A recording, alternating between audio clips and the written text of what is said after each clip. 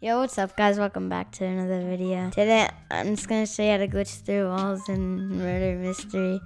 So, for this, you need an FPS unlocker. And everyone in my other comments, in my other videos, kept saying this is a virus, but it's not a freaking virus. Okay, so all it's all it's doing Okay, so all it's doing is it's just going in your Roblox files to uncap the FPS. And Roblox has this thing where at the top it shows your FPS and it capped at 60. So Roblox doesn't go higher than that. And the FPS unlocker, it unlocks the. You spelled weird wrong. and and Roblox it um and the FPS unlocker it unlocks the the 60 FPS.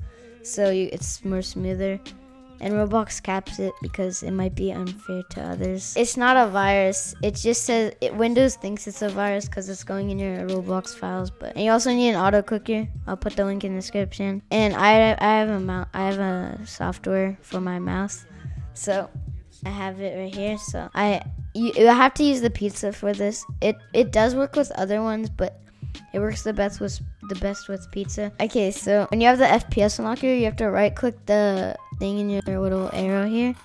Then you're gonna um, go to FPS cap. It's gonna say all of these.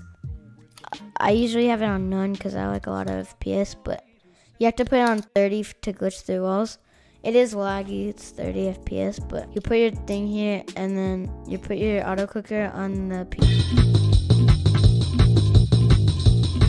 pizza and then you go through the wall and then it, it it's it's like no clipping, but I wouldn't recommend doing it in other servers, in public servers, because you can get banned. So I would just do it in VIP servers. Like right now, we're in a VIP server, so you just hold it and you can go through stuff. But there is holes in the map, like I just died there.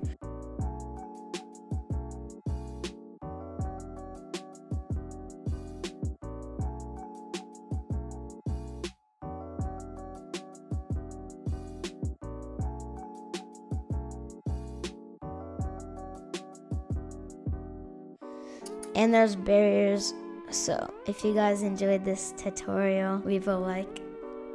And let's see if we can get to a hundred likes and I'll do I'll do an, another tutorial. Thanks for watching and bye